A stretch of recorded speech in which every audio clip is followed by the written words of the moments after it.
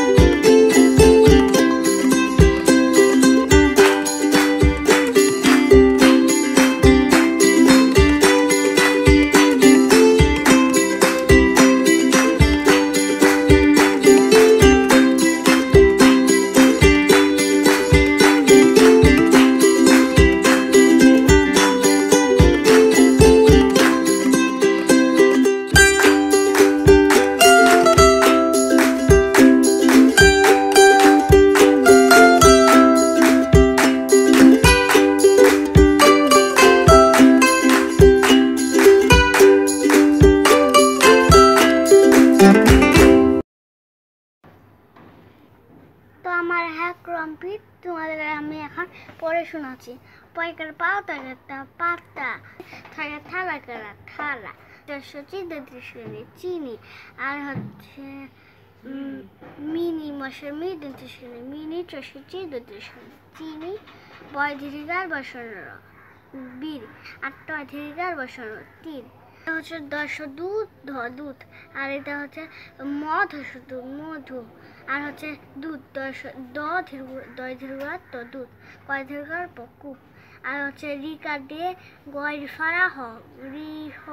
তারপর হচ্ছে তয় ফারা মূর্ধন্য তো আজ এ পর্যন্তই, ধন্যবাদ সবাইকে।